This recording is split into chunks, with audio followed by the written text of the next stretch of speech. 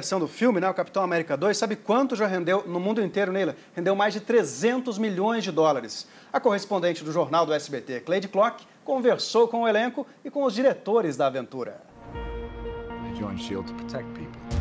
A história é um clássico de super-heróis o jovem que defende o universo contra as forças do mal é o que recheia esse enredo que traz emoção, ação sem limites para os criadores e tensão para quem está assistindo. Em Capitão América 2, o Soldado Invernal, uma turma de super-heróis comanda um thriller político que foi baseado nas manchetes de jornais da atualidade com direito a vazamento de informações e drones. Mas a inspiração para o roteiro veio de clássicos dos anos 70, como Os Três Dias do Condor e Maratona da Morte. And how is to work e nós, do Jornal do SBT, tivemos uma reunião com vários desses super-heróis para tentar descobrir alguns dos segredos da superprodução. Anthony Mack, que vive Falcão, nos ah, contou os truques para voar lose a lot of weight. It was a...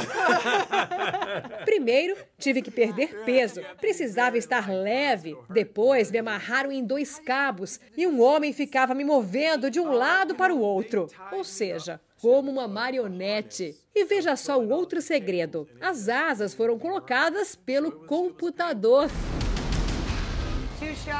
Scarlett Johansson volta na pele da viúva negra que também dá todos esses saltos graças a estes cabos presos ao corpo.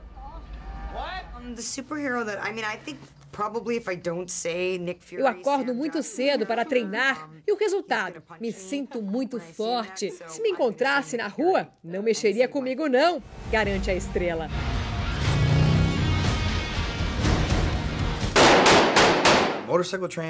Já Chris Evans posa mesmo de super-herói e garante que para ficar com o corpinho do Capitão América precisa malhar apenas uma hora por dia.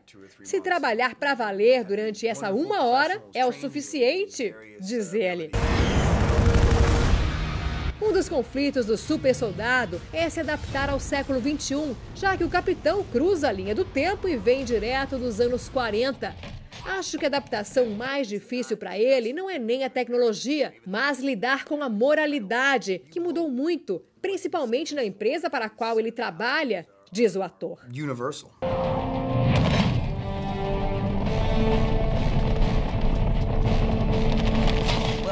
Já Anthony e Joey Russo são os irmãos super diretores que assumiram a função de dirigir um filme com milhões de fãs ao redor do mundo. Também somos fãs do Capitão América e fizemos o que gostaríamos de assistir, contam eles, confessando que quase não usaram efeitos especiais, pois apostaram no realismo. E o que um super-herói faz nas férias? Mac confessa que vai assistir a Copa do Mundo.